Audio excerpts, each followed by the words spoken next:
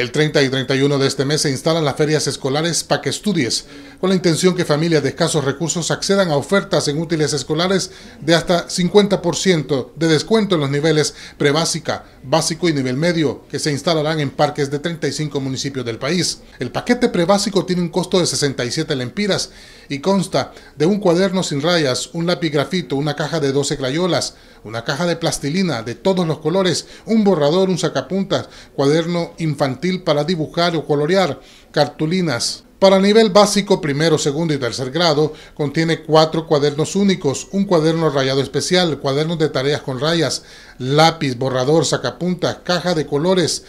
tijeras, punta redonda, lápiz tinta negro diccionario escolar y su costo es de 146 lempiras. Para el nivel básico, segundo de ciclo, es decir, cuarto, quinto y sexto grado, el paquete de útiles escolares consta de 7 cuadernos espiral con rayas y un cuaderno espiral cuadrícula, así como lápices, color negro, sacapuntas, colores, punta fina, borradores y caja de 12 lápices de colores grande y un compás a un precio de 159 lempiras. Además de las tiendas Banasupro, una docena de empresas participan de la feria, así como la industria militar en la elaboración de uniformes y zapatos a bajos costos. Nelson Flores abriendo brecha y noticias Canal 10.